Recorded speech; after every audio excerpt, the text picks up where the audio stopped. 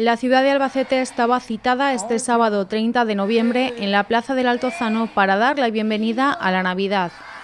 El encendido de luces ha vuelto a congregar a miles de personas en torno a un acto que daba comienzo a las seis y media de la tarde, con actuaciones musicales a cargo del Pulpo DJ, la Banda Sinfónica Municipal y el Real Conservatorio de Música y Danza de la Diputación de Albacete. Los niños y niñas de Afanion han sido los encargados de pulsar el botón que ha iluminado la Navidad en Albacete, haciendo de este uno de los momentos más especiales que se viven en la ciudad durante el año.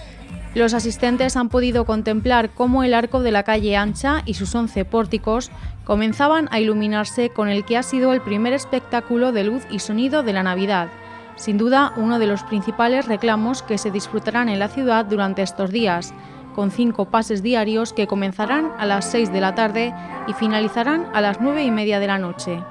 Al mismo tiempo, la ciudad y las pedanías quedaban totalmente iluminadas con 310 arcos y 190 árboles, entre otros motivos navideños que se concentran en plazas y parques.